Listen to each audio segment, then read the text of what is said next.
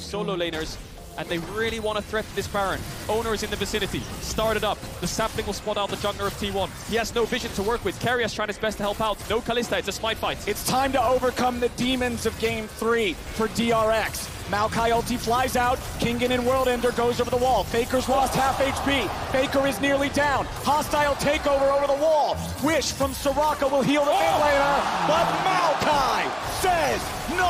DRX ready to fight back again as Zeus is going to be shuffled away. T1 tries to find the fight and they're finally going to kill Deft, but Kingen's still ready to fight over the side. Zeka getting chased. BeryL trying to protect. A beautiful handshake from Renata as Keria falls. T1, 2v3. BeryL may be the target, but Gumayusi is locked down. Gumayusi is executed by the sword of Kingen, and Oner is the only man standing wearing red.